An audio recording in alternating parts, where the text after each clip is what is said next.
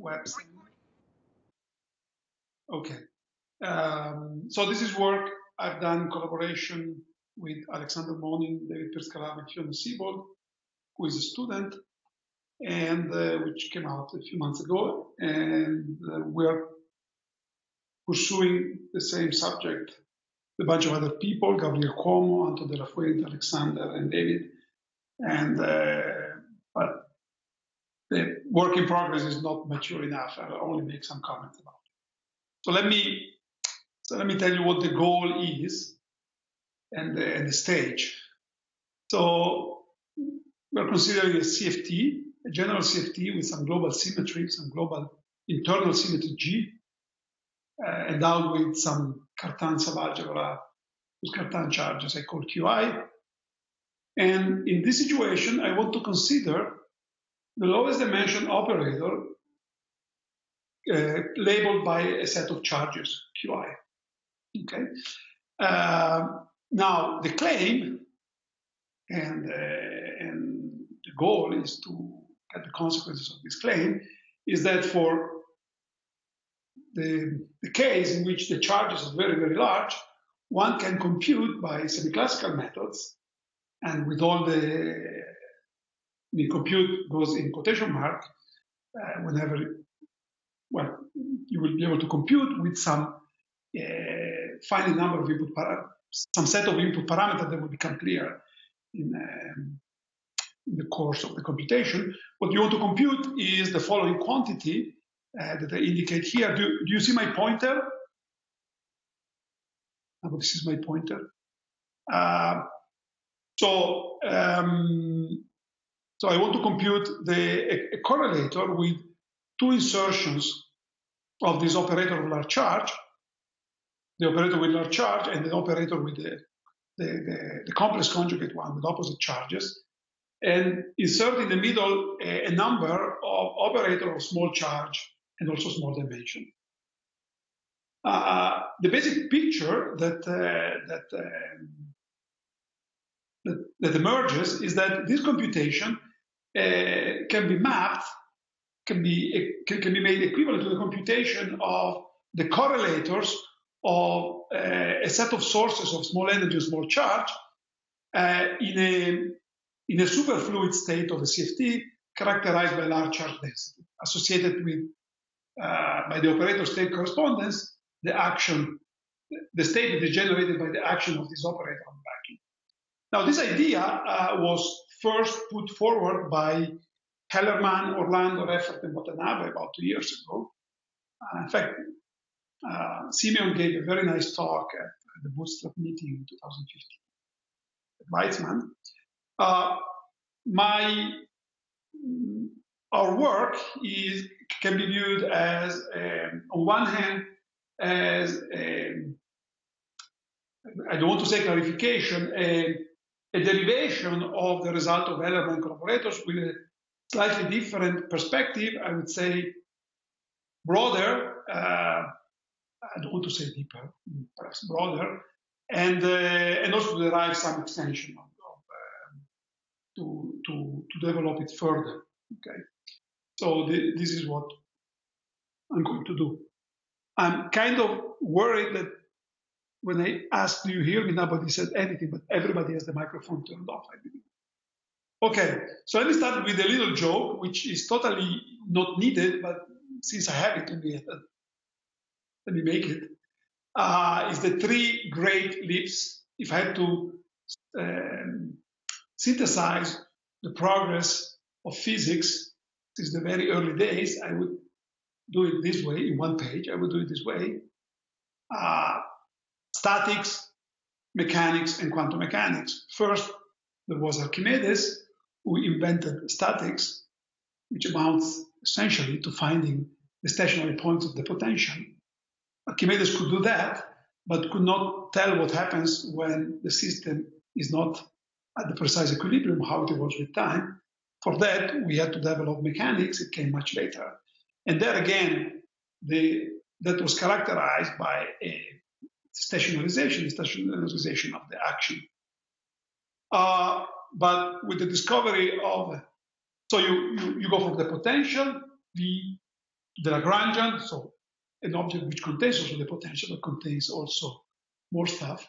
And then the next step is quantum mechanics. You use not just the stationary point of the action, but you use, say, the hell with just the stationary point, you use all the action, and you superimpose and you do. And you have superposition states. And uh, of course, this is the progress of physics, but that doesn't mean that in, in, in specific physical situations, we may go backwards and use the, the intuition of the, of the founding fathers, sometimes Lagrange, sometimes Archimedes.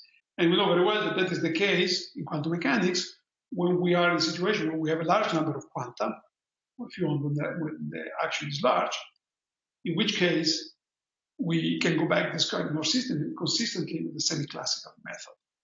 And the case of large charge that I want to focus on is precisely one of these. Okay? So, of course, the goal is to focus on, on the CFTs, but to illustrate the basic idea, I think it makes sense to focus on a very simple and well-known toy example, which contains essentially all uh, the features of the, basically all the features of the CFT examples that we'll discuss later on, and that is the case of the fast spinning uh, rigid rotor. Okay? In other words, this is particle living on a sphere whose Hamiltonian is just given by the angular momentum square divided by the momentum, moment of inertia. Of course, we can solve exactly this system. Okay? The eigenstates are, are given by spherical harmonics, and the energy level are given by this. Now, in this, for this uh, system, which we can solve exactly, we know it very well, I want to uh, test the semi-classical approach. And, and to do that, I, will, I want to focus on the subspace of states with given uh, J3, J3 equal M. Okay? Given a, a certain M, the subspace is infinite, okay, contains states of arbitrary L. In fact, all states with L bigger or equal than M in this infinite subspace of the Hilbert space, there will be a ground state, a state of minimal energy, which is the state with L equal M. This ground state has, therefore, energy equal M times M plus 1. Now, I want to study the properties of this state using the path integral and semi-classical methods, in the case where M is large. To do so, I just consider uh, the most general state with fixed uh, angular momentum J3 equal M, by projecting uh, state theta phi uh, on uh, in the following way, right? Just project, just form state which have which have given angular momentum j3 and arbitrary theta. Okay, so I can then consider. So these are the states that, that characterize our subspace j3 equal m. So for this state, I can consider now the path integral, okay, the Euclidean path integral. Okay. Uh, the Euclidean path integral in this state can be written in the following way. Okay, it's a it's an unconstrained path integral with the addition of this term, okay, which when integrated over time uh, projects on states of given angular momentum. When integrate over time this and you integrate over the initial and final phi, this precisely does the projection that we have. Of course, the action, the, the Lagrangian is just given by the standard action of the rigid rod. Now, in the limit where the time stretch goes to infinity, uh, this path integral is dominated by the ground state. Okay, and uh, and this just consider this path integral a large time stretch is one way to compute the energy of the ground state. Now, uh, in this path integral, there is a large, when, when m is large, there is a large parameter and uh, turns out that in this case, expectedly, okay, when n is large, you can compute uh, systematically this integral using the saddle point approximation and uh, all corrections around it. Okay. So how does this work? Okay, what are the basic features of this computation? First of all, the stationary trajectory. Uh, the stationary trajectory in Euclidean space has this form, uh, it essentially it is the Euclidean version of a particle spinning on the equator. It's clear that if you fix angular momentum, the lowest energy is given by a particle, classically, is given by a particle that spins around the equator. If you have the particle spin in, on, on some other circle, in order to have the same angular momentum on J3, it should spin faster, so you should have bigger energy. So this is, and this is the stationary trajectory that, that you obtain by minimizing the action error before. So the other important point about uh, this, this stationary trajectory is the symmetry, it, its symmetry properties, because symmetries will play a crucial role in the later discussion. Now, this is a system that is endowed with full rotational invariance and time translation invariance. Now, however, the stationary trajectory, as all classical, non-trivial classical trajectories, uh, breaks a bunch of these symmetries, breaks this overall symmetry to a subgroup. In the present case, SO3 is fully broken, and uh, time translations are also broken, and the only thing that survives is a linear combination of time translation, the Hamiltonian, and rotation in the J3 direction. In other words, uh, if you both rotate in the J3 direction and time translate, this solution remains invariant. That's just the stationarity of this solution. Okay. And the, uh, so the time, the generator of unbroken time translations in this case is the linear combination of the Hamiltonian and, a glo and the global charge, and the coefficient is what normally is called chemical potential, just standard notation. Uh, the excitations in this case, uh, are, there are two types of excitation, phi and theta. Now it turns out that uh, in the original in the original non-spinning uh, case, in, in, in, the limit where there's no spin, these are both Goldstone bosons associated with SO3 broken to SO2. These are just, I mean, the, the rigid rotor is a sigma model per se. However, when you when you spin, uh, also also J3 is broken, so, uh, so the symmetry is fully broken. And, and also space-time symmetry is broken, time translation are broken. So you, you are in a situation where Goldstone theorem works in a different way. And what happens in this case is that you don't have a number of ghosts that's precisely given number of broken generators, but it's generally a smaller one. In fact, in this case, the only genuine Goldstone boson is phi, okay, which is the one associated with the only generator that commutes with the effective Hamiltonian. And this mode has, in fact, frequency zero. On the other hand, the fluctuations in the theta directions are gapped, and they are gapped precisely by the chemical potential. That's a known phenomenon in, in symmetry breaking uh, situation where you also break space-time symmetries. In particular, when you have some charge, finite charge, there are Goldstones whose mass, or if you want whose gap, because you don't have Lorentz, picking, is controlled by the chemical potential.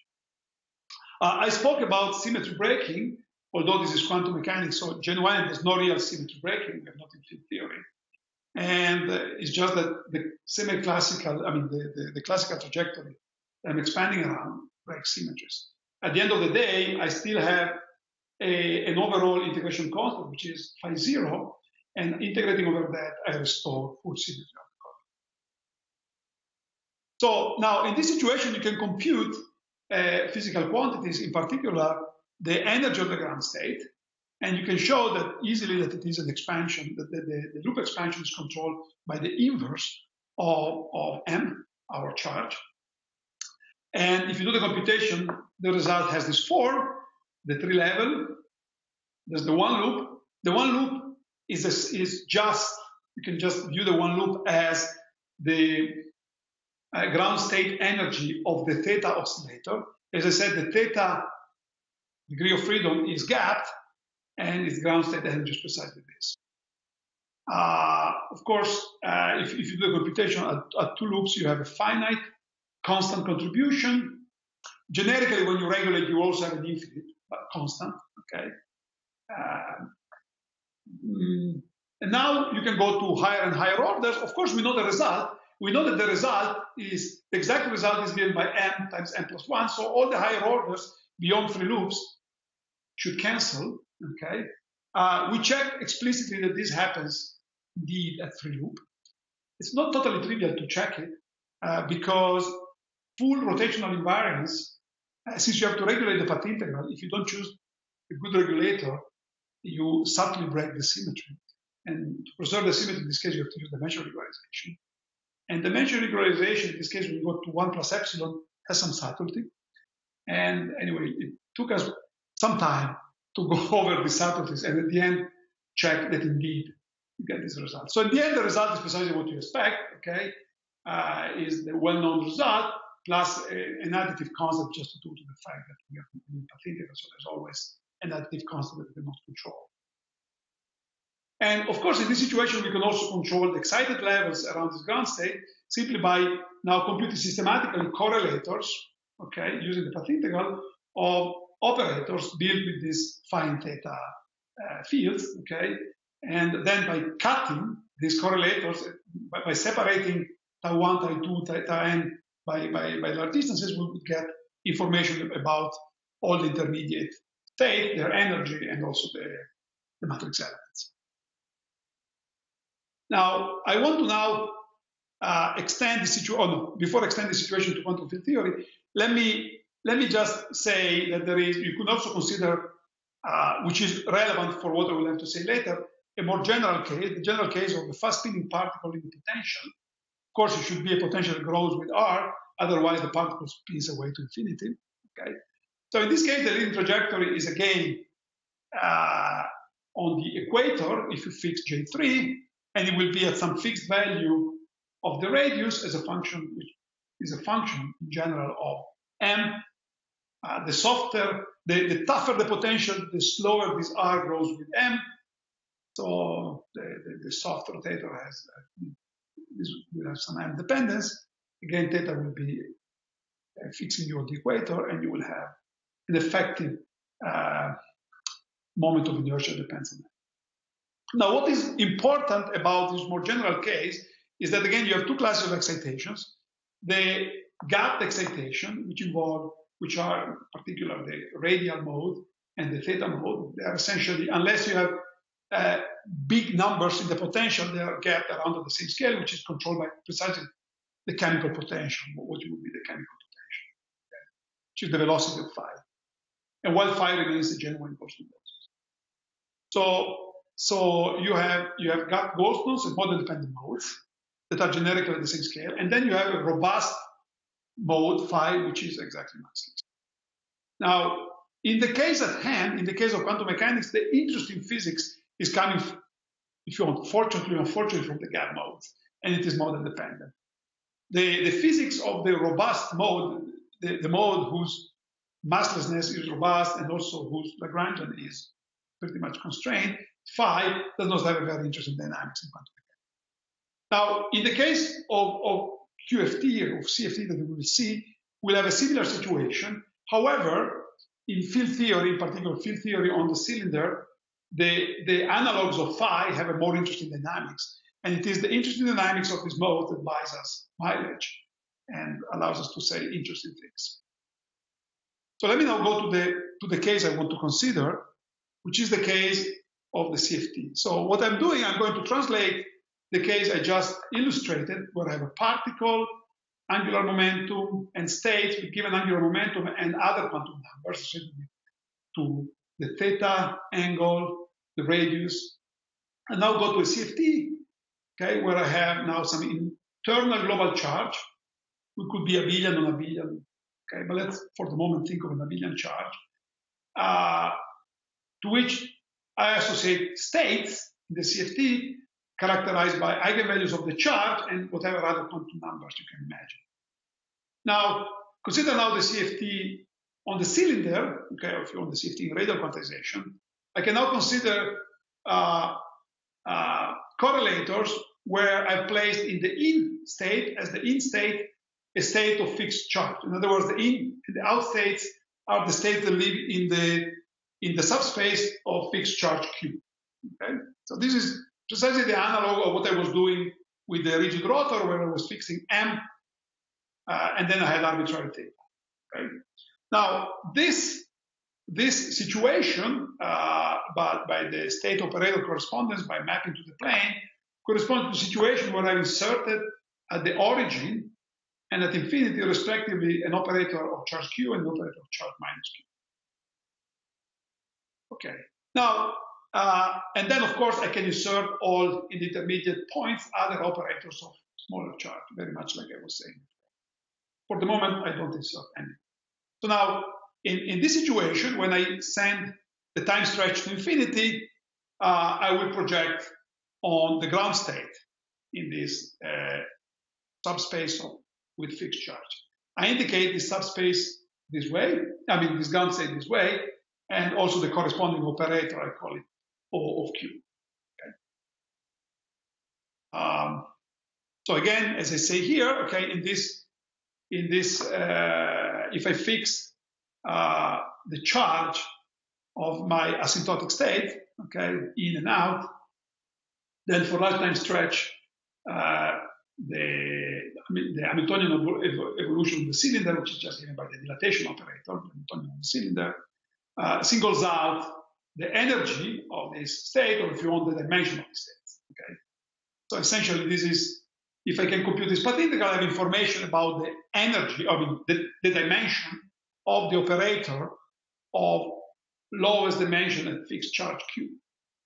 Now, very much like in the case of the rigid rotor, I expect that for very large values when this charge is much, much, much bigger than the smallest quantum of charge, I expect this trajectory uh, is dominated by a saddle point. I mean, this path integral, sorry. This path integral is dominated by a saddle point trajectory phi classical. Now, what can we say about this trajectory? Well, as I will now, and I want to argue, this trajectory uh, corresponds to some condensed matter phase of our CFT on the cylinder. Why so? Well, this is a, I mean, this is a trajectory which is endowed with a certain charge density, rho, which is given by the total charge Q divided by the surface of, um, of the sphere of the cylinder. Okay. Um, so Q over R to the d minus one. Now, in the theory without any other small parameter, uh, without any any big or small parameter, this charge density is expected to be associated with a scale, scale given by the chemical potential, uh, scale by the suitable power, mu to the minus one.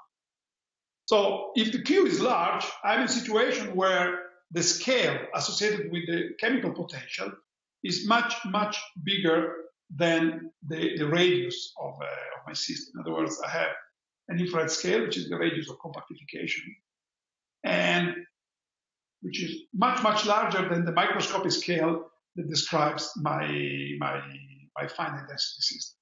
So in other words, I'm in a situation where I have a separation of scales where the scales, the mu that describes my, my, the phase of my system is much, much bigger than the one. And whenever I have a, I have a, I have a separation of scales, I expect, I, I, I, I may uh, have handle to come up with an EFT description as long as the system turns out to be weakly coupled at the, at the lower end of the scale. Okay? So if you want, uh, we're going to end up in a situation uh, where mu is essentially like lambda QCD, and 1 over r is our infrared scale, which could be like the pion mass or the if the pions are massless, the scale at which you do the experiment. So these are, in this situation, uh, um, if we have reason to argue that the theory in the infrared is only derivatively coupled, then we have a margin of computability. Okay, we, we can compute quantities in the derivative expansion. Uh, so so what we have is a state with a, is a, it has a huge charge density. And uh, so well, we call this condensed matter phase. Now, uh, now this very much like in the case of the rigid rotor, this state, the, the, the, sorry, this this this configuration that uh, minimizes uh, the, the, dominates the, the path integral necessarily nonlinear realizes part of the of the symmetry group of our system, which is just the conformal group and U1 rotations. And let me argue, and, and by considering how how this solution nonlinear realizes the symmetry group, we can get a hint of how to describe it. Okay, so we just we're trying. I'm trying to reverse engineer what the symmetry properties of phi classical are. Okay, so how, how do we get that? So let me consider the action of the symmetry. So, so what do we have? We have a situation where we have inserted at the origin, which I call x in. You should think that, the, that this x in is the plane equivalent of our in uh, insertion, okay, the, the, the, insertion of the operator of Q at early time. When, when this goes at very early time, this goes to the origin, okay. So x in goes to the origin, x out goes, goes to infinity.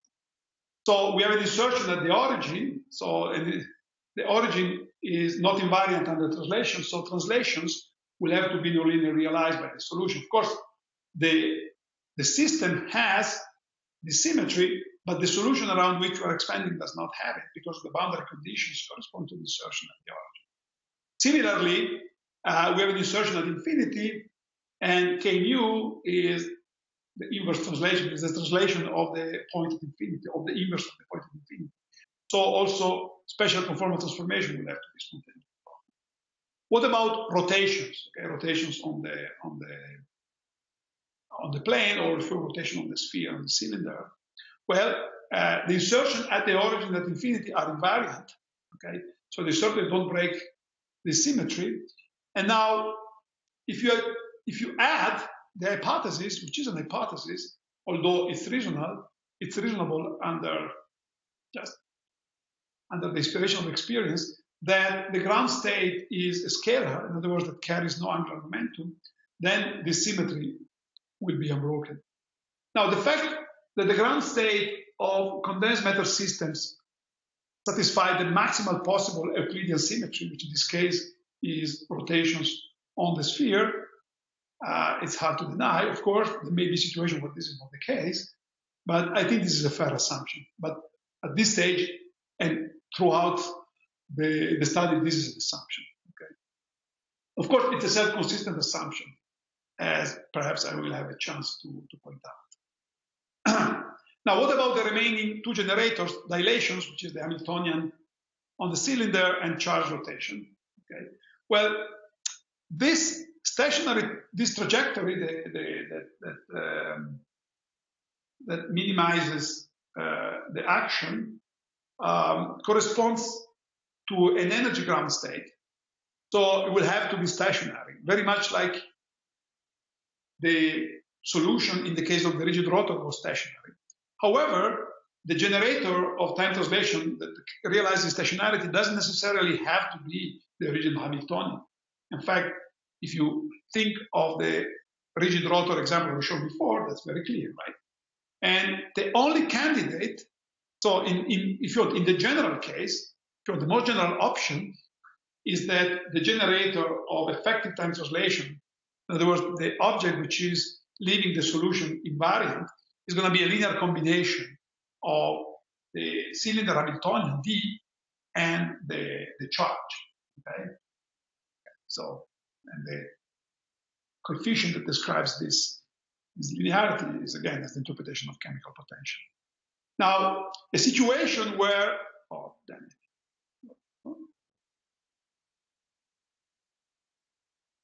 A situation where, where the original symmetry, which is the conformal group W1, is broken to rotations time effective time translation of this form is what defines a homogeneous conformal superfluid state.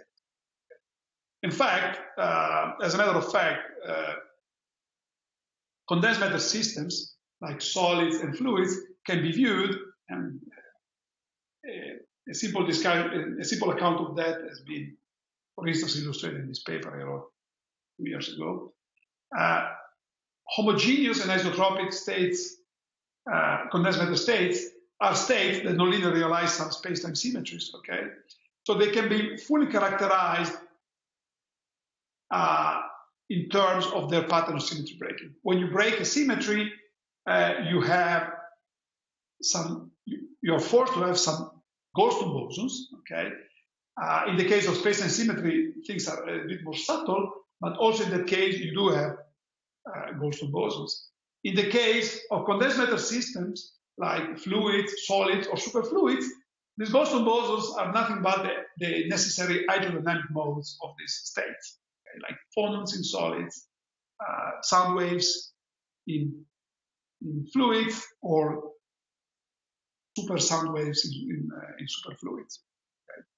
And in the case at hand, this pattern of symmetry breaking is, is precisely.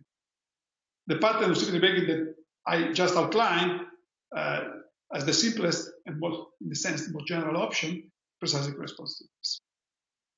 Now, in a more general situation uh, where you have a general group G, uh, what you expect uh, for the case in which you have a state characterized by uh, large uh, value of all the Cartan charges of the group is that the symmetry breaking, you can argue that on general ground the symmetry breaking pattern is given by this. You break down the conformal times G, to rotations, time ineffective, time translation operator, which is the, just a linear combination of, uh, of D uh, and the Cartan charges with individual chemical potential for each of them.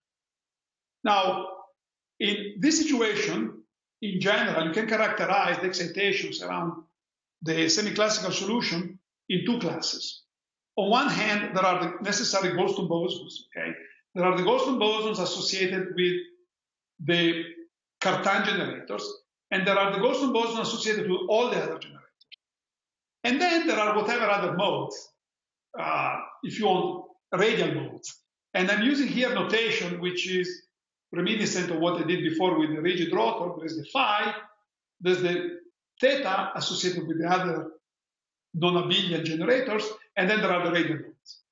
Now it turns out that very much like it happens for the rigid rotor, you can argue on general grounds that uh, the, the non-abelian Goldstones are gapped. If you want, the main reason for that, if you, want, you can see that they are different than the phi i, is because for these guys, the generators to which they are associated does not, does not commute with the effective atomic. Right? While for the phi i, because they are in the Cartan, the, the generators the Cartan subalgebra, uh, it commutes. So now, so now these guys, and of course the radial modes, are in general gapped and model dependent. Uh, on the other hand, the phi i uh, have to be massless, okay? And there's no way they cannot be massless, okay? And they are the angle of the phi in the of the rigid rotor. Now, that dynamics uh, is is is universal, okay? And in the case at hand, is also non-trivial because we have a non-trivial uh, manifold, and there are effects at the compactification scale uh, which which are not present in the analog quantum mechanical case. So the dynamics of these guys is richer than in the case of, of, of our simplifying quantum mechanics. And essentially all that we will have to say concerning these model. I should add that, okay, so this, so what, what I'm going to do, I'm going to study the more general system under the assumption that the only light states are the phi i. That doesn't mean that this is the more general case. There, there may exist specific cases where there are additional modes. Okay. Uh, for instance, supersymmetry may dictate the presence of other modes. It may dictate the presence of a, of an additional radial mode that is light because it's a flat direction. Uh, there may even be, although I must admit, among the many things I don't understand, this one certainly don't understand, there may exist uh, fermions. Maybe that the, the, the condensed matter phase where you end up with is a, is a Fermi liquid, uh, in which case my understanding is that the primary degrees of freedom are fermions, and essentially the phi i are not, I want to say bound state, by, but bilinear form with these fermions.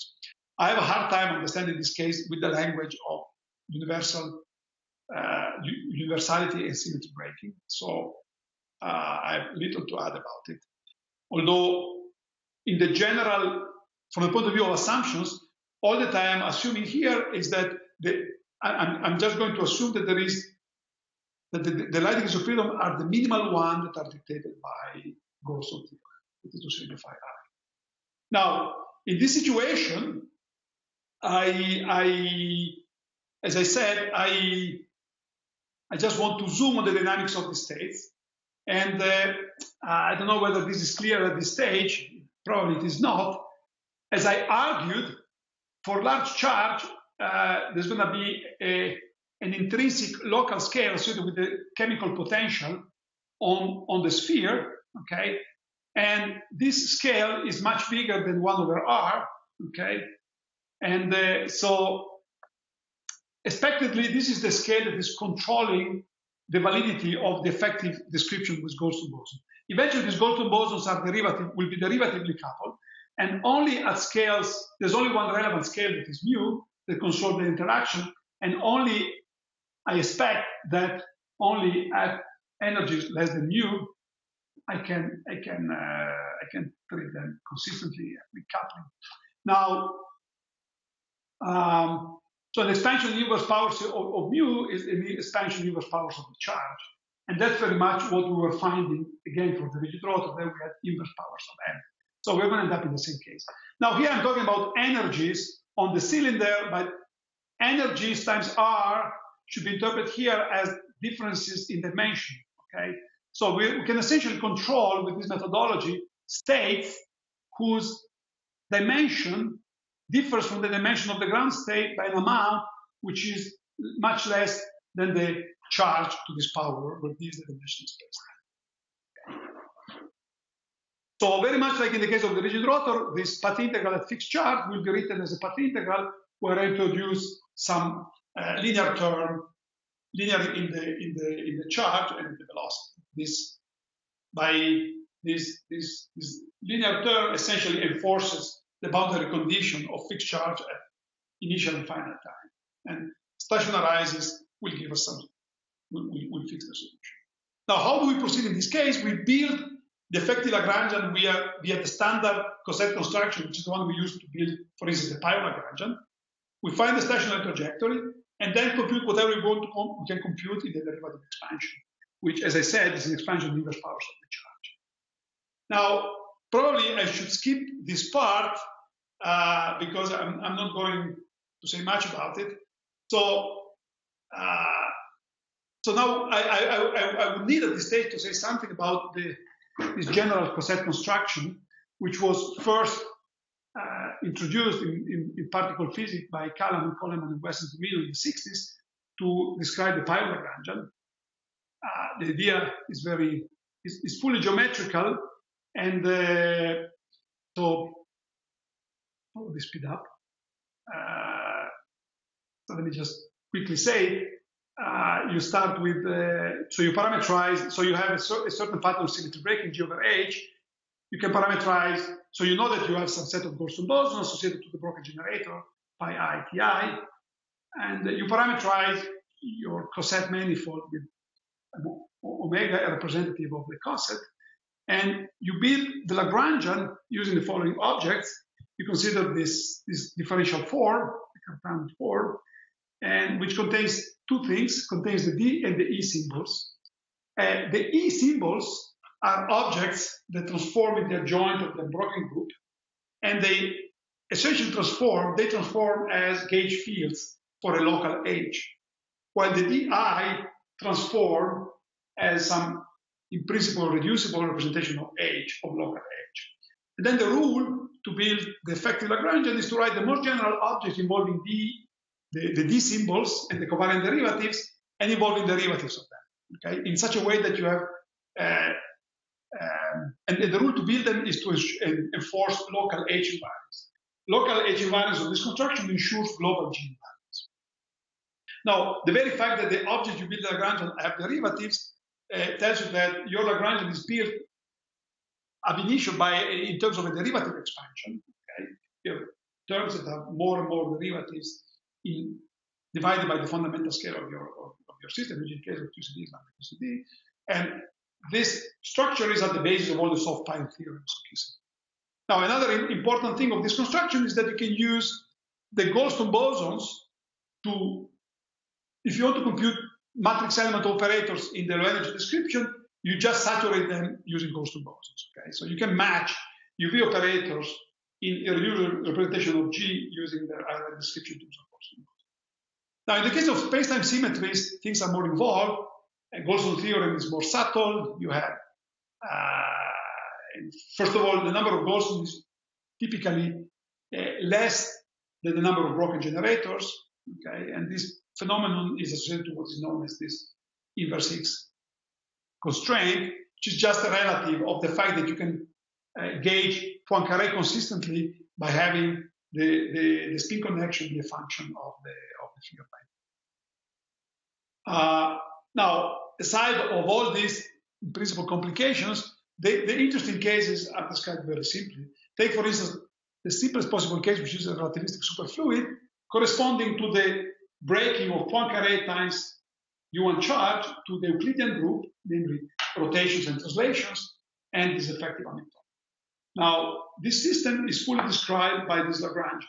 Okay, Lagrangian with the field pi that shifts under the, the charge symmetry and, and expanded around the solution where, where, um, where phi evolves linearly with time. Okay? And the excitations is just the hydrodynamic in our case, things are made more complicated by the fact that we want to do this pattern of symmetry breaking not on flat space, but on the curved manifold cylinder. And, uh, well, I mean, we, we've invented a way to do that. It's a little bit I, I, don't want to say baroque. I wish we had a better way. We go through some local Poincare, then we build the gauge coset, and then we eliminate redundant fields and Fliess graph. At the end, you can check whether by this construction you do indeed realize the desired pattern symmetry breaking, although it's a little bit indirect way it's done. I wish we had a better way, and fortunately we don't. So we started the following applications, okay? Uh, let me, I, I, just really want to quickly go to them because this is, I believe, the interesting part of the talk, not what I've been saying so far, unfortunately. Okay, so let me just, we, in principle, our methodology allows us to describe any group. I should say that our coset general coset construction, strictly speaking, for the simplest case, U1 is probably an overkill and maybe even 41 cos U1. But when you start going to more complicated non-abelian situation to study the most general uh, situation, then it really it, it's really hard to proceed without the systematic approach. So it has a value, although even though it's boring and complicated. So we consider these three cases, and I will only talk about the first two. I should say that the first one was already discussed by Simeon and collaborators, and let me just recall the results uh, here. So let me, in order to that, let me focus on the case of three dimensions. Okay, so let me consider three-dimensional CFT, which is, for instance, a U1 and SO2 model, okay, in three dimensions. Uh, um, so in this case, uh, the pattern of symmetry breaking dictates that the simplest op- the simplest possibility is that you get away with just one Goldstone field. Of course, you could have more degrees of freedom, but that but that would be special. Generically, everything else can be gapped. So if everything else can be gapped, let it be gapped. And let's have just this Goldstone field. The Lagrangian has the structure, okay? It's its scale, of course, and conformal invariant. The leading term is, or it can be built using just this rough notation where indicated by phi the square root of uh, the gradient, the, the norm of the gradient which eventually will be awarded the chemical potential. And so it's organized as a, as a series in powers of phi, uh, uh, of, of phi, where r is the curvature. Okay. So remember, eventually phi will be huge on the background because phi uh, uh, just the velocity of the field. The velocity of the field in this situation goes like the chemical potential, large charge density, large chemical potential, d phi large. So uh, so then I can organize my terms in the potential, in the, in the Lagrange, in terms of powers of d phi. You see the first term has three powers, the second has two.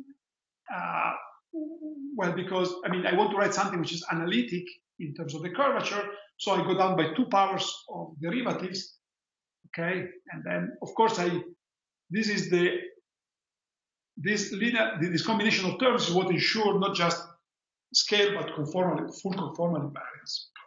And there are more and more terms involving more derivatives and more inverse powers of phi. Of course, in this equation here, you see all the structure is non-analytic in phi, you get square root, you get inverse powers, but no problem because we're going to expand around the non-trivial diagram. And, and, and what happens, you see it by just by extending, I mean, just by fixing the charge. Fixing the charge means doing the path integral for this action with the addition of this term, uh, which is the analog of what we had in the rigid rotor, is what fixes uh, the charge of the boundary states. Okay? So then, by minimizing the action, uh, the, the full action with this term, we get the classical solution as this form, uh, where mu is, is obtained by, by, by, by varying the Lagrange respect to, to mu itself, okay? And it has the following form, where you see that mu in units of, of the radius, which we could have taken to be one, goes like the square root of the charge.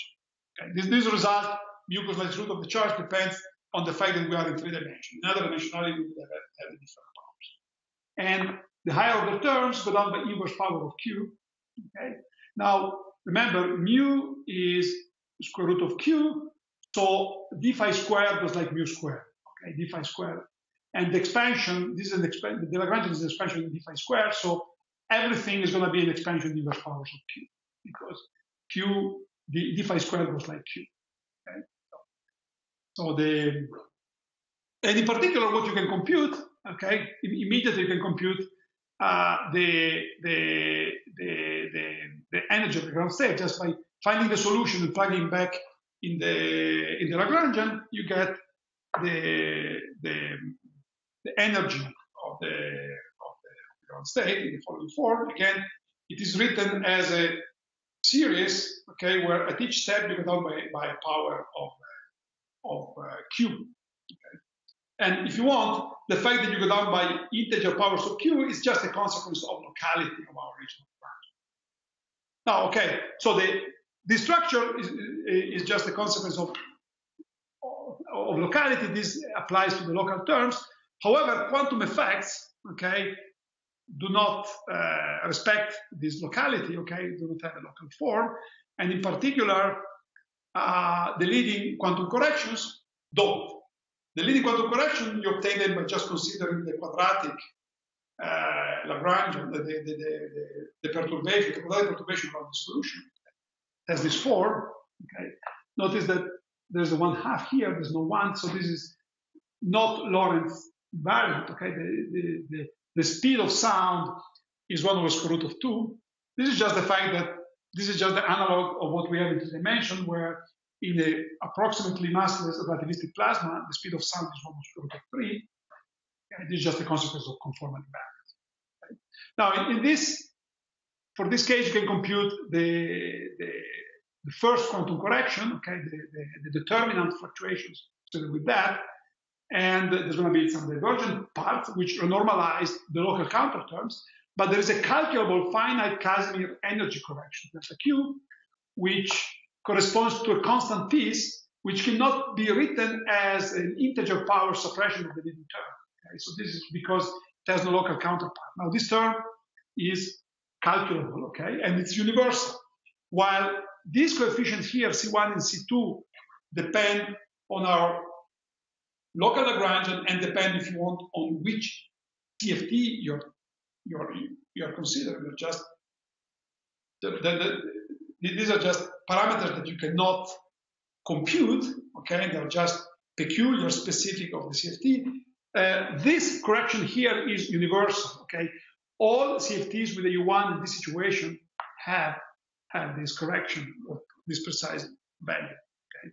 Now, of course, as it's often the case when you do effective theory, in order to tell this, to, to be able to single out this prediction, you need a pretty damn precise uh, handle on the dimensions. Okay? So in other words, when Q is large, this is a tiny correction to the dimension, yet if you have a precise way of computing or measuring, you can give you a prediction. It is the essence precisely of whenever you like the pion Lagrange. Predictivity in such weakly coupled theories go along with uh, high precision in, in, either computation or memory. Now, however, we the, the power of this description goes beyond uh, the computation of the ground state because now we have we have the whole set of excitations of uh, around the solution. Okay, and uh, we can quantize this excitation. We have a Fock space for them. Okay? In particular, at the linearized level, the pi field. Okay, if you want this uh, this sound wave of the superfluid, you can you can decompose it in in angular momentum modes. In in, uh, in modes of given L and M because we are on the sphere. We are the, our space is a two-dimensional sphere. So the modes of this guy are characterized by creation an operator, A, Lm, A, Lm dagger with the energy given by, by this uh, kinetic term. This is just the angular momentum square of the sphere, so this is one half of that. Okay, so this is again this factor of two is just the, the, the, the hallmark of conformal invariance, and very crucially so for a reason that you'll see in a moment. Now, these operators were acting on our vacuum, or if you want, our state of minimal dimension at given chart would generate a set of new states, which by the operator state corresponded are set to other operators, whose dimension is given by the original dimension times the number of quanta of a given type, uh, times the frequency, uh, the, the, the, energy of the quantum, at least at the leading order. Of course, then at higher order, there's going to be interaction effects, okay, because the Lagrangian is not only quadratic, there are terms, but but at the leading order is what you have. And then, again, these interaction effects, you can compute this systematically, although we haven't done that. It would be interesting to do it. Now, uh, what about the properties of these states? Well, first of all, notice that for L equal 1, omega, the energy increase that you get is precisely 1. So the, the, the dimension is increased by one unit with the action of the spin 1 wave. Okay. In fact, you can check that these spin one waves are precisely given by K and P. There are three of them, okay, and they are precisely A is given by the special conformal transformation, and A dagger is given by PM. So the action of A dagger on our ground state is the action of PM on our ground state, which is just, of course, the ground state is the primary operator. So the action of A dagger will give us all the descendants of our uh, ground state operator. Okay, while all the other uh, A and A, A daggers with L different than one, uh, which commute uh, with K, just by the quantization condition of this pi on the sphere, this will therefore generate genuine new spinning primaries, okay? because uh, they will generate states where which is annihilated by K. Okay? The action of K uh, as it is zero on the ground state, it will keep being zero case. So there's a very non-trivial spectral information on, on, on, on the non-trivial new spinning primaries that exist about the states. And this non-trivial information just comes from locality and symmetry. The locality of our superfluid description and the symmetry that this nonlinear symmetry that uh, drove us there, unavoidably, no matter how we we started. Uh, now, it's interesting to consider the, the next complication, which is a system which has a U1 cross U1 symmetry, okay? Uh, so I want to consider a CFT which has two independent U1s, and I want to consider the case, the states which have big charges for both Q1 and Q2. Now, uh, I don't want, again, the, the construction here is slightly more involved, and however, uh, there is immediately at the leading order in the derivative expansion, you see that you have a much richer, much richer situation. The point is that you can take ratios, if you want, of the gradients of these Goldstones. Okay, these are dimensionless, and uh, and you can check that if you take ratio of the gradients and the ratio uh, and the, and the scalar products of d phi one, d phi two, these objects so constructed are perfectly conformally invariant. So you can write uh, a general function of that without putting any powers of the curvature. So in the limit where the chemical potential potentials are large, these quantities uh, scales like ratios of the chemical potential. They don't go like inverse. So this, in general, the leading description is controlled by a function rather than by some coefficient. So apparently there is less universality. So you can write the thing in this form. It's convenient to write it this way, okay? To keep a, a sort of symmetry. Although there shouldn't be necessarily a symmetry between these, between these two U1s. And I can parameterize everything in terms of the uh, uh, geometric average of chemical potential and the ratio of the chemical potentials. Now it turns out that by minimizing, uh, by, by finding the stationary condition, the stationary condition dictates that the ratio of chemical potential is in one-to-one -one correspondence with the ratio of charges, and why the, the average, the, the geometric average of the two charges is controlled by the, the overall chemical potential and the ratio. So, okay, so now in this situation, you can compute uh, the, the, the, the, so essentially, if you want, if you fix the ratio of charges, if you go in a given direction in the space of charge, uh, and you only change the overall value of the charge, keeping the ratio fixed, you're, you're like in the previous situation, okay? However, when you change the direction, things change. And in fact, the, the energy of the ground state takes the following form, okay? It goes like the average, the, the geometric average chart as before, inverse powers. At each step, the derivative expansion, you get one inverse power. However, the coefficients, unlike, they are no longer uh, just numbers, but they are functions, okay? I should say that this description, okay, now here you have a much richer situation, and you can imagine that at some special points in, in the space of charge ratios, okay, at some particular direction in charge space, you may have phase transition associated to the fact that some of the massive modes can become massless. For instance, in the, in the region where one of the charges goes to zero, you can have partial symmetry restoration, so you can have a different description. In fact, you can argue that this phase transition can also happen just with some model you can, you can, you can study, even without uh, Q1 or Q2 going to zero. So it's a more intricate situation, but certainly you expect to have patches of, of charge space where you have definite given description and then patches separated by phase transitions. Now, what about uh, the computation in this case? Well, you can generalize it. Okay, you, you will now have two uh, at the quadratic level. You have two Goldstone excitation. One is the genuine hydrodynamic mode associated with broken translation invariance, and the other is a standard Goldstone. Okay, and uh, and we will see that this is the one whose spin one component uh, controls K and P, okay, and all the descendants, while this is, is just generating other primers. So again, you can compute the first quantum correction. Okay, again, it is calculable, but like everything in this case, is, there is an unknown coefficient, which is just a function of the speed of sound of the other okay, which is a parameter which depends on uh, on the ratio of charges. Okay.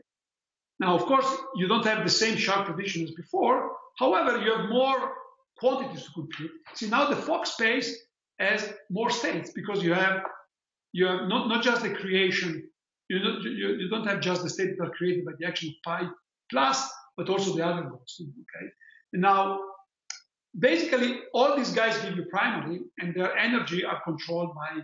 In one case, they are just fixed by symmetry. In the other case, are controlled by the speed of sound. Oh, there is a minus here. Now, these are all primaries apart from the one corresponding to plus one, which is just the the descendants of the, they just give you all the descendants. Now, final thing, uh, uh, you cannot just compute the spectrum, you can compute more properties of, uh, of this. In particular, you can compute correlators and fusion coefficients, okay, systematically. And let me just illustrate how this works, okay? So, so let me start with the analogy with QCD. So how do we do in QCD? Uh, in QCD, okay, we have, imagine we start with the UV description, we have quarks. Imagine we have a bilinear psi-bar psi made of quarks, quark with flavors A and B, okay? So this is an operator of, of the, of our fundamental theory. Uh, we are interested, maybe interested in computing the matrix elements of this operator at, in the long range description at energy below lambda QCD. Well, you know, how do we do that? Well, we map this operator to uh, the most general expression that saturates the same quantum numbers of this operator, and it's written pure in terms of Goldstone because the Goldstones are the quantum, the, the degrees of freedom of energy theory. So we, we, we match the chiral quantum numbers, and that is done this way, just by writing in terms of the Goldstone matrix. We match dimensionality. In this case, it's just lambda QCD. Now there's a real dimensionful parameter lambda QCD. And of course, we could add uh, further expression which involve derivatives of the Goldstones, but these other expressions at long distances will matter less because they will have more. So, in the end, the, in the long in the long range, the matrix element of this guy are controlled by some coefficient which we cannot compute, which can maybe get from the lattice, but it's just uh, from the point of view of the energy effective theory, it's just an input, but everything else follows from symmetry. Now we can imagine doing the same thing in the CFT. Okay, imagine we have some operator of our CFT, which is characterized by some small dimension delta, some small charge q, and some angular momentum small r.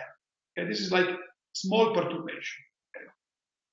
Now we imagine that uh, if you compute uh, matrix elements of, of this object, uh, this uh, will be uh, in they, they will be uh, controlled. I mean, around given that all the correlators are controlled by this semi-classical expansion around this trajectory, this around this trajectory are, will, will, will, will just be mapped to the to the expression in terms of the Goldstone the saturates precisely the quantum numbers, original quantum numbers. So just to give you an example, the simplest thing you can imagine the current.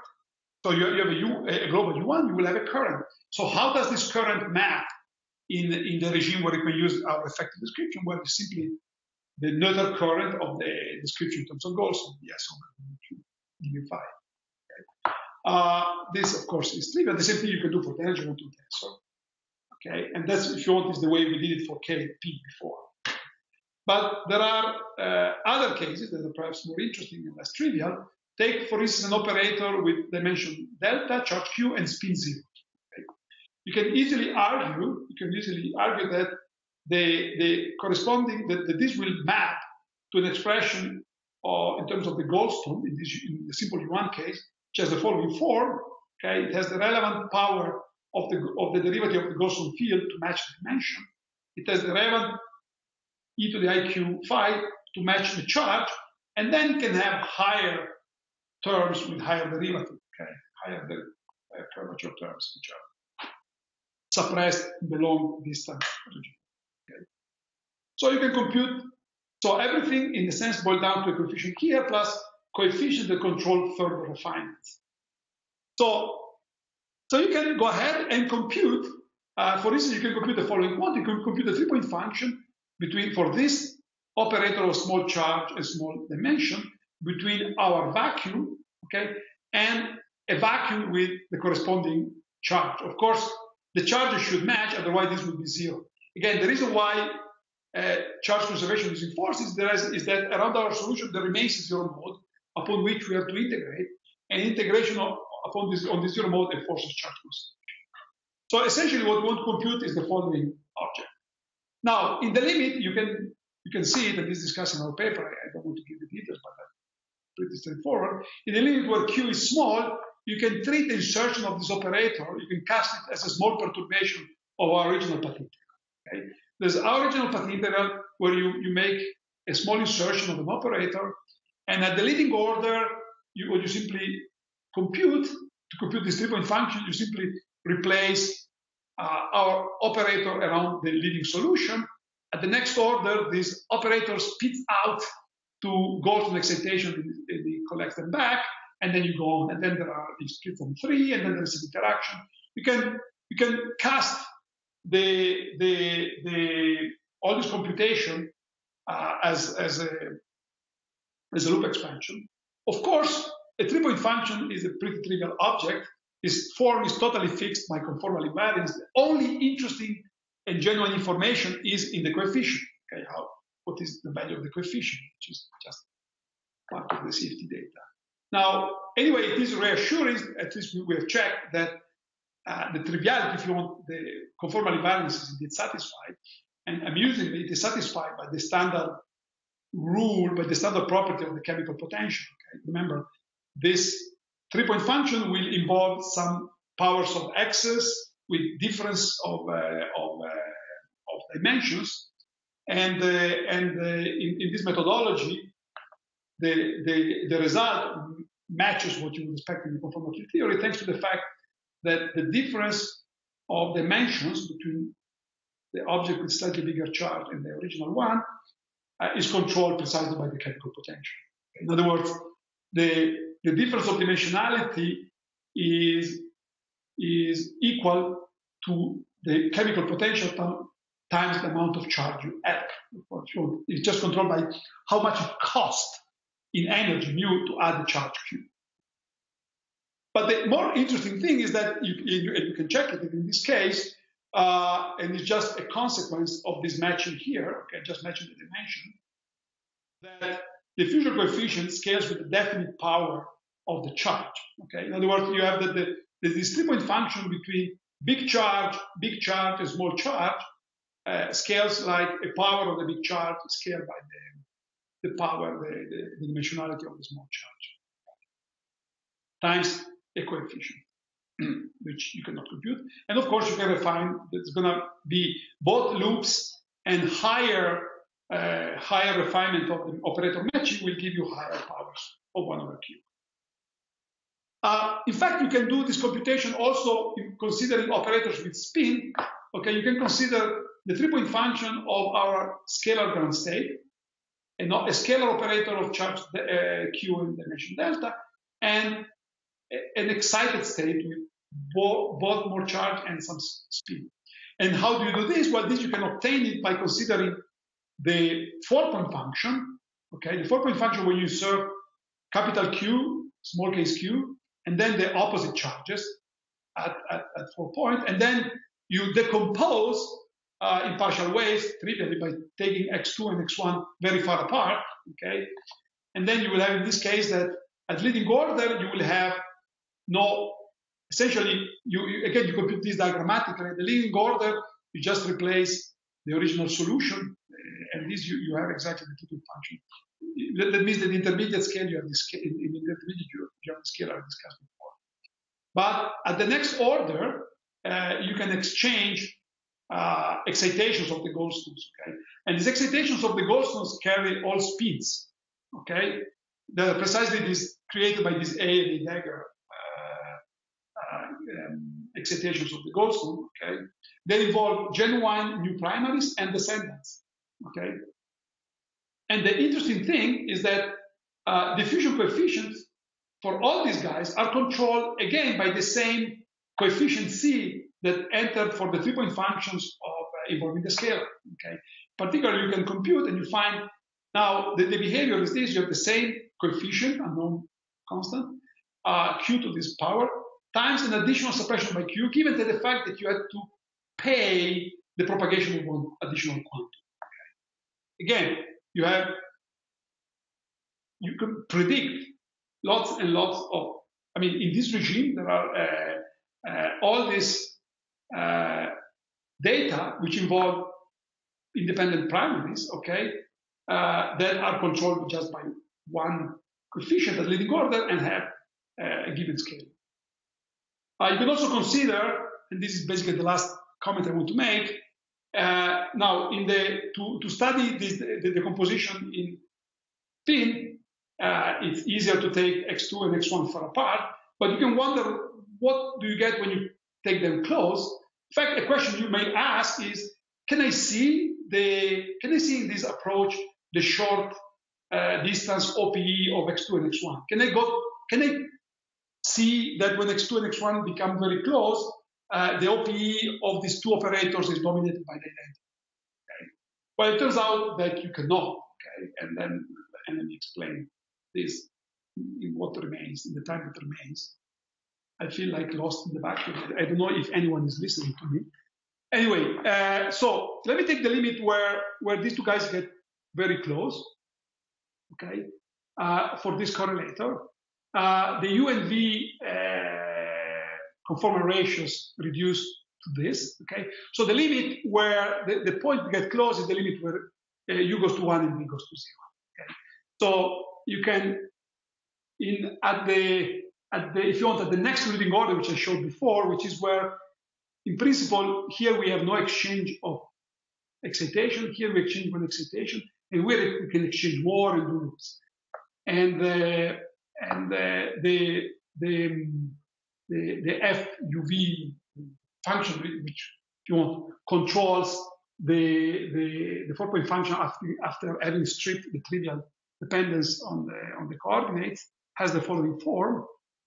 Okay, and uh, what should I say here is that okay, this is saturated by the exchange of the scalar. Okay, the scalar that is in the OPE, the scalar they first discussed, if you want the scalar vacuum of, of charge little q plus capital Q is controlled by this. And what you have here is the combined summation of all summation of all the effects of descendants of this guy and genuine primaries. And the crucial thing here is to see uh, what is the expansion parameter, because then the same parameter will control the further terms. The expansion parameter is, is, is just this, okay? If you can just uh, look more in, in, simple terms, is this object here. Essentially, what you have is that when x12 becomes sufficiently small, this expansion parameter becomes order one, and all your perturbative uh, expansion breaks down. Which means this is just the indication that your effective Weakly coupled description is no longer tenable. You cannot treat, cannot treat your, you cannot compute quantities at finite order in the exchange of this quanta. In other words, this quanta are not weakly coupled. In other words, the perturbative expansion breaks down when these points get closer than one root of. And if you want, this corresponds precisely to distances that are less than the inverse of the chemical potential. So, so there's clearly no free lunch. Okay. On one hand, you have this, which is the usual property of uh, effective field description. They're powerful, but you are bound to to to be able to use them only generically in a long distance region. So in other words, if you're want the region where the standard OPE dominated by the identity uh, works well, lies outside the domain of validity of large charge description. So, in fact, you, you, can just elaborate a little bit on this. I mean, in order to be in the regime where the insertion of these two guys is oblivious of everything else, of the existence of this charge, big charge far away, you have to get to very, very close distances. If you want, this large charge perturbs the insertion of those guys by a lot, unless these guys are very, very close. And they have to be as close as one square root of q in order to, to be able to forget about this charge. And, uh, and uh, of course, uh, the result, I mean, and, and, and when they get very close, then, then, then eventually you can use this. If you want the result is intuitive in the superfluid picture, okay, a medium affects the propagation of quanta if they are at sufficient long distance where in, in such a way that sound waves dominate their interaction. Okay? At long distances, in some ways, they dominate everything. Okay? It's only at short distances that this uh, quanta can can can interact independent of, of, um, of um, I mean, in a way that can be oblivious of the presence of this uh, macroscopic state. If this is the same result if you want of particles at, in, in hot QCD, okay, at very short distances, you can forget about the medium. But at long distances, you cannot describe particles. You have hydrodynamic modes, plasma, and everything else. And we are precisely about So let me conclude. What next?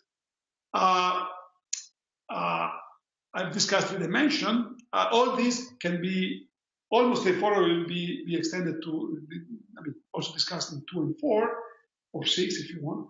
Uh, the only thing you have to be careful about is that the, in those cases, the effective action uh, also involves a turn whose construction is slightly more involved. This is the Western turn. But this is, again, we know how to do that. In fact, talking about two dimension, it would be nice to compare to some exact two dimensional case. Uh, this is something that we wanted to do, and but we haven't, and uh, we plan to, and it would be very nice to, to be able to compare this result to some non-trivial case. Okay? And uh, maybe somebody in the audience, in the silent audience, can point us toward that. Now, what about what perhaps is most more interesting, the case of large spin? In fact, the case of large spin is, is, is basically the main reason why I got interested in this, because there was this hint, this, this in fact, it's not hint, it's just a very clear indication by the analytic bootstrap, okay, derived by some distinguished members of your collaboration, that at large spin, even if you're not in ADS-CFT, not, not in large N theory, uh, there is, I mean, there's clear signals that you may be able to, I mean, that, that you have a semi-classical picture. So we have tried, we've tried to think of how what this picture would be, uh, but we didn't make any definite progress. Okay. One difficulty of the large spin case is that most likely, in fact, unavoidably, it would be a configuration that is not homogeneous. Okay. Um, in fact, or already in the analytic bootstrap, in, in the ADS picture, you had this uh, spinning gravitons, whatever. Uh, okay. So it's not going to be a, a homogeneous configuration. You will have uh, some lumps or stuff. In fact, uh, um, so inspired by, by, this, in fact, we have started looking instead at the large spin, large charge case, which, which seems more promising, okay? And this is the case where you have both a large charge density, so you have a superfluid, but you also have spin. So you want to have a spinning superfluid. But if you try to make a superfluid spin on a sphere, given that uh, the, the, the, the flow is a gradient, okay, it cannot, okay? And the only way you can make it flow is if you have, if you add singularities, if you add vortices. For instance, you add a vortex and anti-vortex at the north and the south pole. Okay? And and uh, we have some plausible indication, okay, this is what we're working on right now, that the, the, the, situation where the angular momentum is of the order of the charge is self-consistently described by a vortex anti-vortex configuration. Well, in addition to the superfluid modes, pi, you also have the vortex coordinates among your, your variables. In fact, this in the, in the 2 plus 1 case, this superfluid state is dual to a monopole configuration, and the vortices are just quantized charges in this monopole field. So the energy levels are low levels. You can do a lot of studies. I think it's interesting. We'll see. I, it's all I have to say.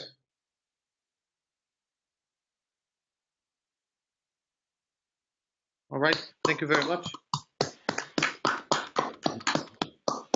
Um, are there any questions? I, have some questions. Yeah, go ahead, Slava.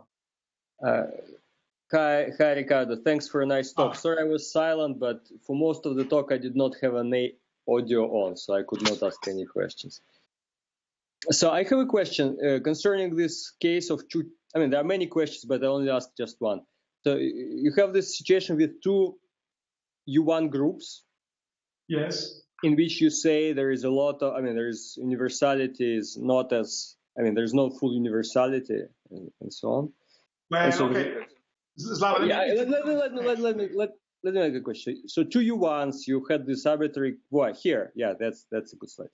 So, but suppose that you, in fact, you have a non-abelian um, theory, and so that the charges, so that the operators are organized in multiplets of the non-abelian group. Then we know that, in fact, operators for multiplets with different values of Cartan. So, in fact, you are supposed to be able to move within these multiplets somehow. So, in fact, there have to be big I mean, I'm not saying degeneracy, but so in fact, in, I don't know how it's going to work out. I mean, how is this going to be consistent with the structure of non-abelian multiplets, the structure that you described?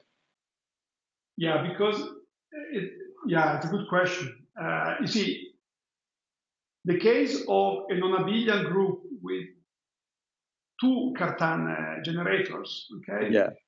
When you eliminate the massive, goes reduces basically to this one okay? And because the, the, the other guys are, are gapped at mu generically. So you're saying how you distinguish that from this? Yeah, I'm saying Ah. okay, you cannot you cannot compute it from effective theory, but perhaps you can impose this extra information post factum. Probably you can you can do that when you want to. Certainly, you need to do that when you want to match operators and you want to write them in terms of Goldstones. Uh, then you, you, you will have to use this Goldstone to build G multiplet rather than U1 cross U1 multiplet. And there you will have more coefficients, more freedom. Probably there that you get more stuff. Uh, you see what I'm saying, perhaps. Um, but uh, but but but I, I wouldn't know how to see right away. Perhaps my collaborators can answer right away, but they're not in this room. Is, is that the question, Slava? Yeah, yeah, that was the question. So Um, so you're saying that I should see a bigger multiplicity in the non-abelian case than in the abelian case. yeah, I was one. I mean, it seems to me that there's some story here, but perhaps we should discuss uh, later on next week when I'm at CERN or in two weeks. Yeah, uh, it's a good question. I haven't thought about it. Okay, thanks. Yeah, I also have a question. I could imagine a situation in which the lowest energy state in a charge sector is not a scalar, but has some low spin, say it's a fermion. Could your setup be generalized to that case? Uh, if, if it is a if it is an object of small angular momentum, Yeah. then I we're basically say that the ground state is a quantum object. And uh, yeah, I'm I'm I, I I'm afraid that this you see I wouldn't be able to describe this in classically. I'm afraid. You see, see. for instance, this vortex case, I, but I'm going by analogy. We, you, you should go to this vortex case. It may Mhm. well be that our, that our case only has the vortex. I mean, in principle, I could imagine a situation where this is the ground state. Hmm Here, the angular momentum is huge. It's of order q. hmm So um, I'm, I'm not sure I would be able to describe this uh, this uh, this ground state with spin one half. I I see. I doubt I would be able, but but I don't have a definite. Uh, I see. my So I- either spin zero My- or my spin. quantum situation. Then. Okay. hmm You get some small because you see any semi-classical, any potentially semi-classical situation can be made non-semi-classical by the addition of some small quantum numbers. hmm And uh, so basically, I'm assuming that this is the only quantum number I have. It's Q. Right. Uh, so, for instance, I um, so for instance, I could imagine that uh, that uh, so let me say I could imagine that some of these fields are okay become tachyonic, one of the radial fields, some, some, some vector field, okay, and then and then you will have some condensation of some vector, and that breaks rotations, okay. But this, as long as you describe this semi-classically, the angular momentum associated with that is huge because it's it's a big expectation value, and uh, so I, I I I don't see this as I, I don't see this as coming from a semi-classical description. I see. I oh. understand. Thank you.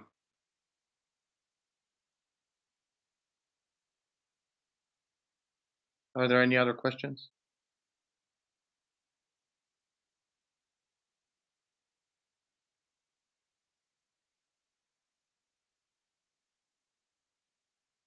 So I guess maybe I can ask one more quick question.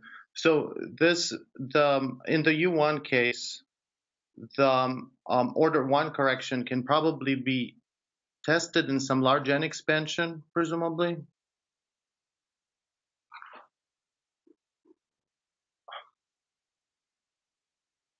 Um, So the the 0.09 yes.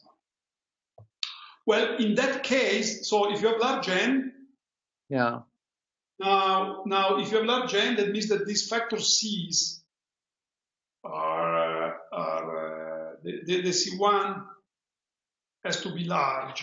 So let me just go back. So Mhm. large n. Now there is some weird. Uh, there's a C2 there. I'm So I guess a, confused a better way of asking this is that do you expect that there should be um, a problem with the order of limits if we have large n and large q? No, having large n, uh, having large n just means that this C1 in front of everything is Mhm. large. Two and C1 are large. Now I'm slightly confused about some equation I wrote, but let's forget for a moment.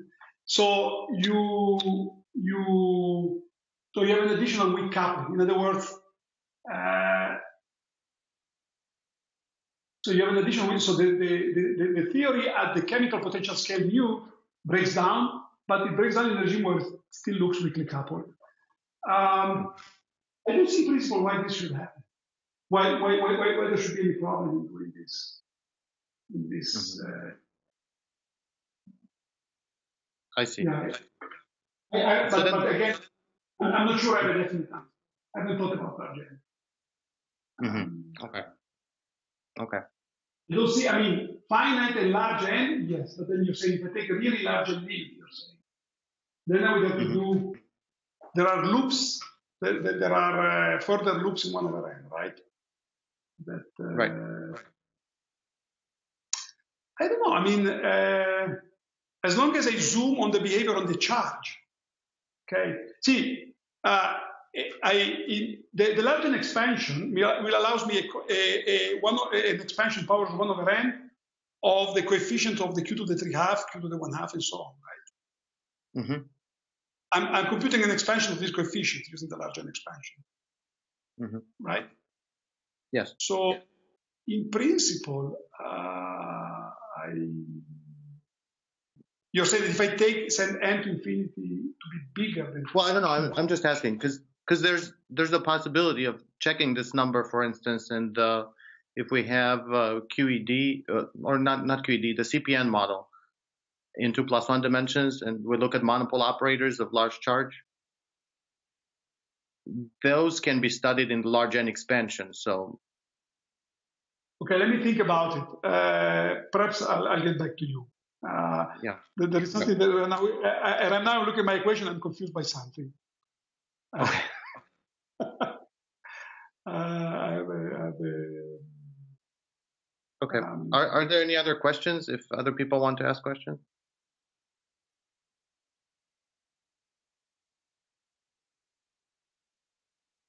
Well, if not, then thank you, Riccardo, for a great talk. thank you. Thank you for having me silence. Okay. And uh, okay.